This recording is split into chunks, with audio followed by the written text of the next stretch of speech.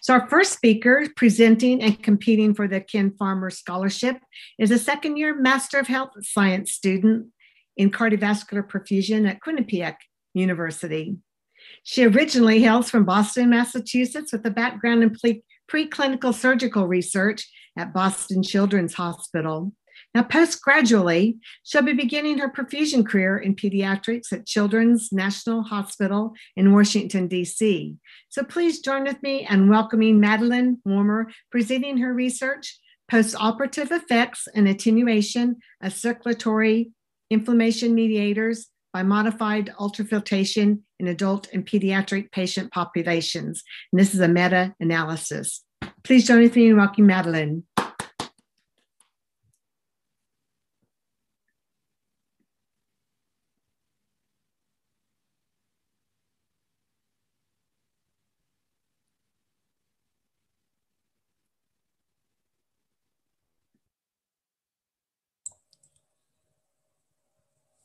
She might have hit her video button instead of her mute.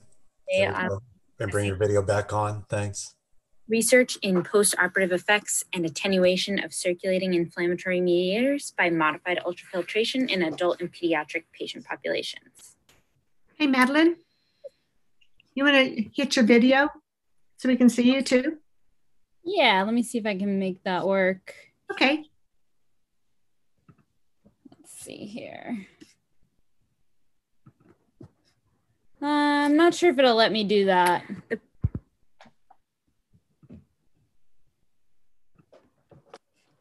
If you can see the if you can see the window of yourself, it should be like there's like a pause button there. Mm, it's just not saying available. Hmm. That's all right.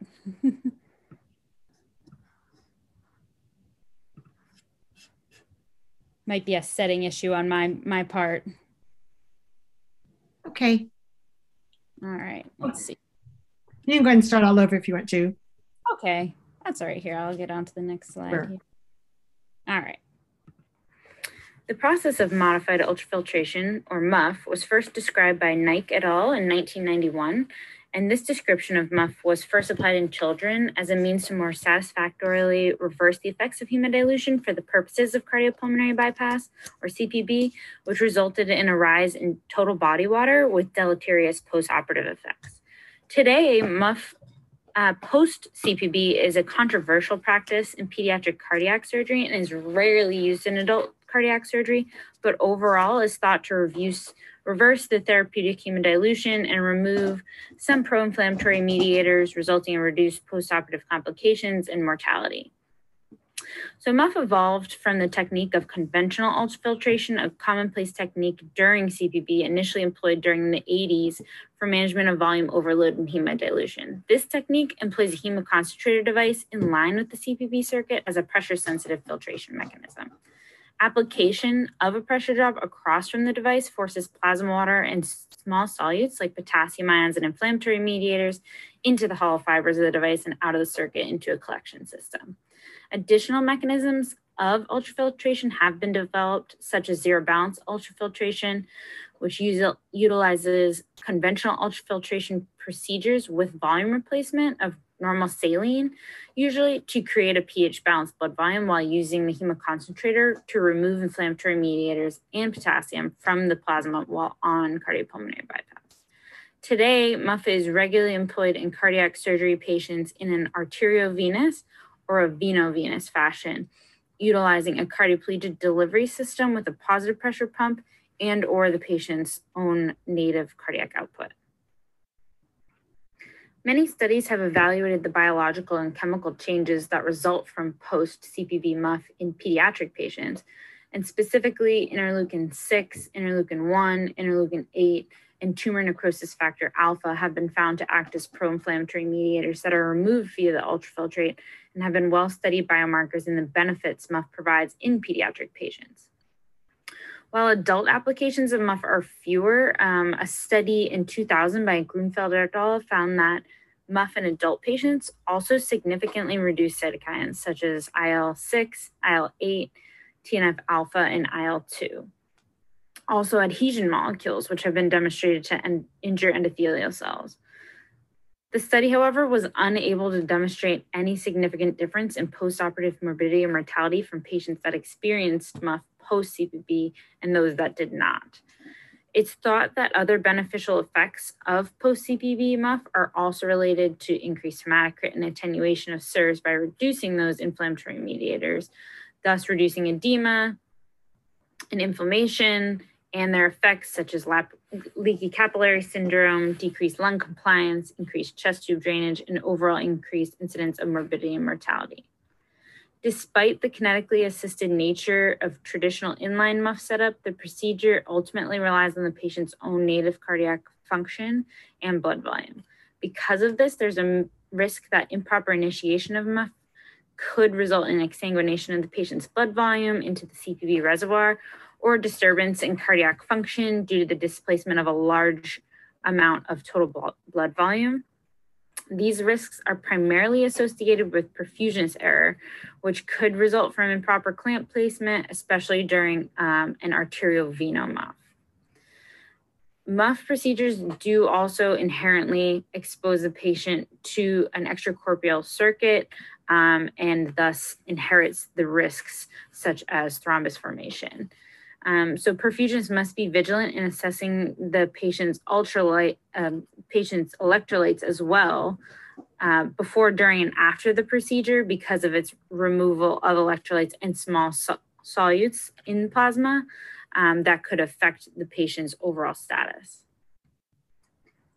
So this study hypothesized that post-CPB MUF reduces IL-6, IL-8, tumor necrosis factor alpha, all in the blood, and increases hematocrit, which provides advantages of reduced inflammatory response, decreased chest tube drainage, reduction coagulopathies, and decreased blood transfusion requirements in both pediatric and adult, health, adult patients.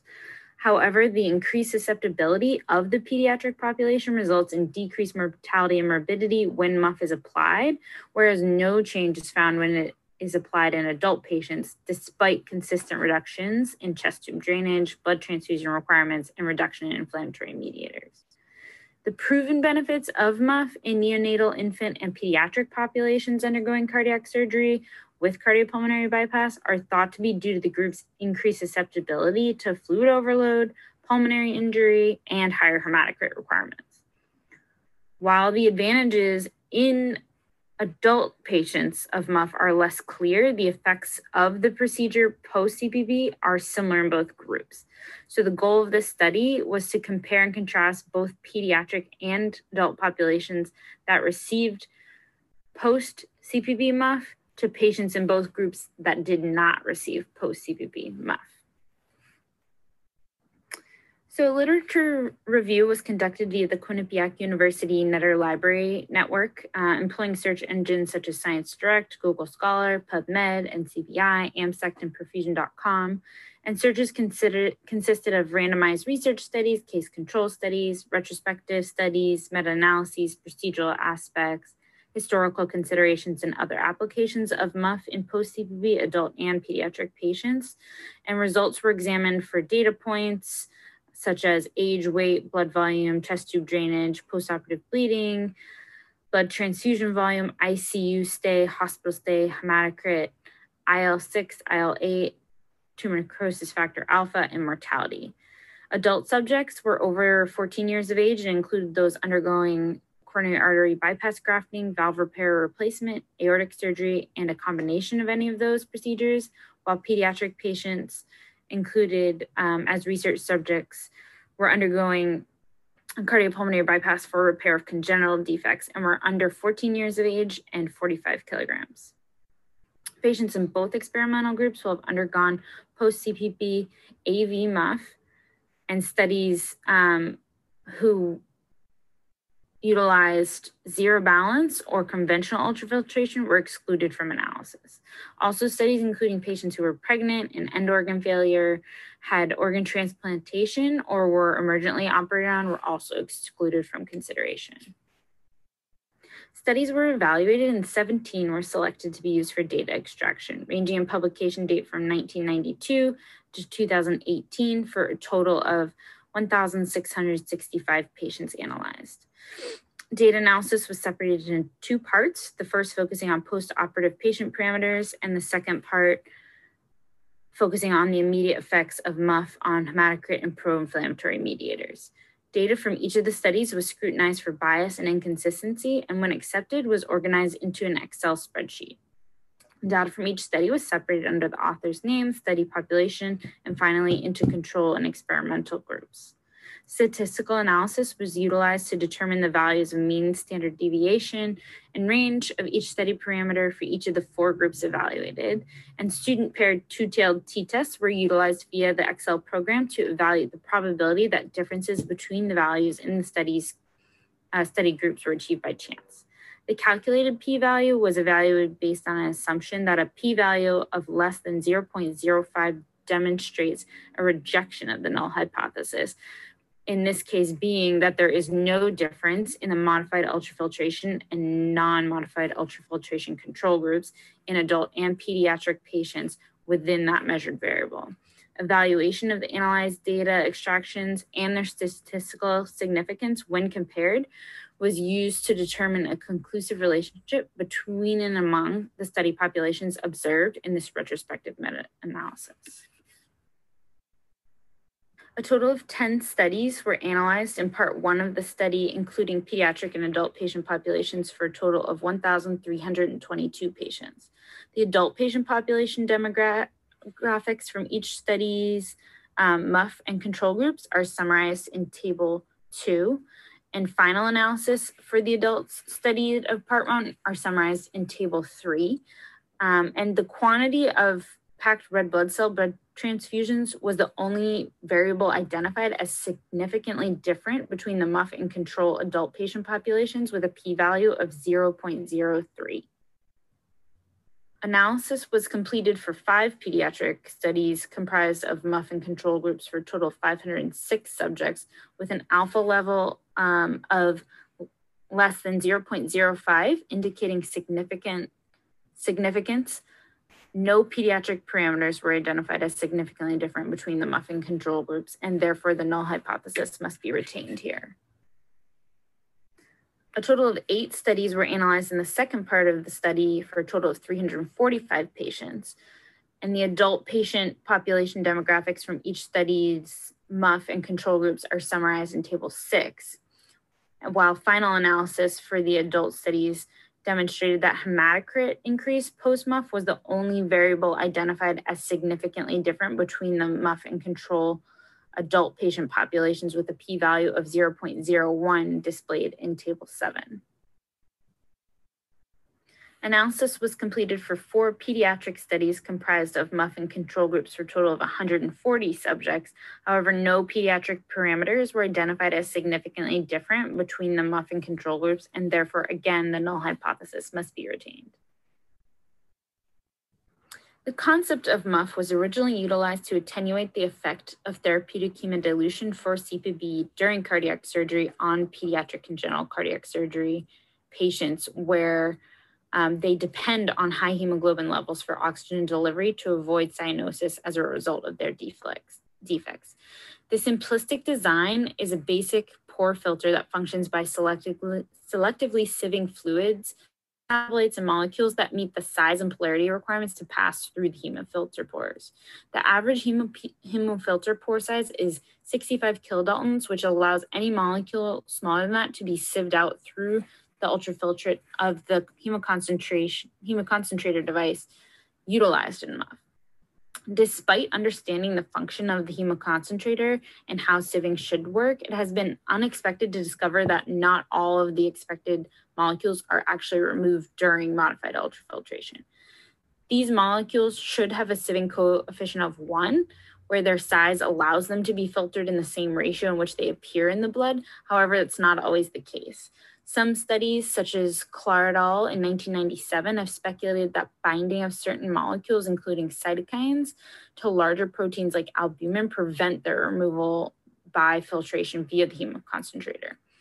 And while cytokines such as TNF alpha, IL 6, and IL 8 should be removed in the ultrafiltrate because their molecular weights are below the pore size, it doesn't always appear that that is so. The respective molecular weights are shown in table 10, and the removal of many electrolytes in plasma water appear to be unhindered by this phenomenon, however. Um, and MUF should then result in increased hematocrit. So after a complete analysis, a significant difference was found between the MUF and control groups for adult and pediatric hematocrit increase and adult blood transfusion requirements based on an accepted alpha level of 0.05 or less. Comparison of MUF and control groups for both pediatric and adult patient groups analyzed found no significant difference in sample size, respective group ages, 24 hour chest tube drainage, ICU stay, hospital stay, mortality, TNF alpha decrease, IL 6 decrease, and IL 8 decrease, as well as in pediatric blood transfusion requirements. A complete summary of the analyzed studies and their independent results and conclusions are shown in Table 11. These findings suggest that MUF may attenuate some of the dilutional effects created by CPB and reduce the requirement of allogenic blood transfusion, but does not necessarily reduce the systemic inflammatory response mediators that are activated, activated by CPB and their subsequent effect. The hypothesis being evaluated in this study could therefore not be accepted, and the null hypothesis is retained that there is no significant difference in post-op morbidity and mortality based on post post cardiopulmonary bypass modified ultrafiltration in adult and pediatric cardiac surgery patient populations. The finding of these analyses suggests that while some beneficial hemoconcentrator may, hemoconcentration may be gained from post CPB MUF, there's no cumulative benefit by pediatric or adult patients that undergo the procedure. Specific indications for secondary effects such as total body water, myocardial edema, inflammatory response activation are not indicated by these results. However, they may just be out of the scope of this analysis. These findings do suggest that beneficial hemoconcentration from MUF procedures may result in decreased blood loss and blood transfusion in the immediate postoperative period for some patients. However, this requires more investigation. Despite an expansive research search of the literature, there are very few recent studies evaluating the effects of post-CPB MUF and even fewer that evaluate its, evaluate its effects in adult patients. All of the studies included in this analysis were single center studies, all of which evaluated either pediatric or adult patients, not both. There also were no studies that evalu evaluated all of the parameters analyzed in this meta-analysis. Most evaluated either physical parameters or biochemical parameters individually. So to accurately depict the non-biased results of post-CPB MUF, fully controlled trials must be completed in pediatric and adult patients within similar conditions of each other. And this type of controlled trial may actually be best displayed in animal studies where the surgical conditions um, are much more highly controlled than in human patients that are often quite sick before undergoing cardiac surgery. There's also less inherent risk to animal models under these stringent variable conditions than there would be to a human patient undergoing a questionably beneficial elective procedure. Subsequent human studies evaluating post-CPB MUF would be most appropriate in a randomized, multi-centered, blinded trial where the patient parameters and conditions will vary widely. All questionably related patient parameters should also be studied as they relate to MUF, such as hemodynamics, fluid balance, cardiac parameters, pulmonary function, biochemical change, edema, lactate levels, renal function, pharmacological treatment and interactions, and more that are excluded from the scope of this meta-analysis. Furthermore, medical investigation and comparative analysis of various types of ultrafiltration, hemoconcentration, and pharmacological treatments to attenuate um, achieve the same desired result may yield a similar, safer, or more effective means than post cardiopulmonary modified ultrafiltration procedure. And because protein binding may hinder the removal of cytokines and other pro inflammatory mediators, they should be sieved off to reduce the systemic inflammatory response initiated by the CPB exposure, it's possible that further investigation may show similar benefits of increased hematocrit, resulting in increased oxygen delivery decreased chest, chest tube drainage and blood transfusion requirement by conventional ultrafiltration during CPB, which may eliminate perfusion related risk um, compared to MUF procedures. Thank you very much for your time, everyone. Is there any questions I can answer?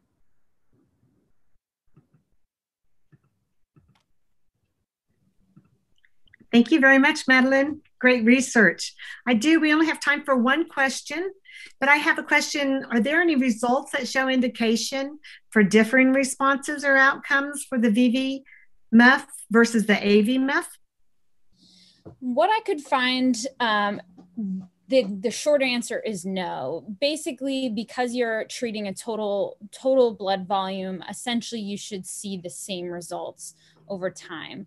The VV muff tends to be displayed in research uh, less frequently, which is why I chose to eliminate it from my research pool, um, simply because it allowed me to limit studies um, more specifically also based on cannulation. Um, there are a few studies that even uh, attempted muff-like procedures in ECMO patients, um, which would present more often in a VV fashion. Um, so in order to help eliminate some of those um, those studies and those options, um, I chose to eliminate from this study. However, um, you know, anecdotally, no, it appears that the results uh, can be kind of construed either way in VV versus VA muff. Okay. Thank you very much. Thank you.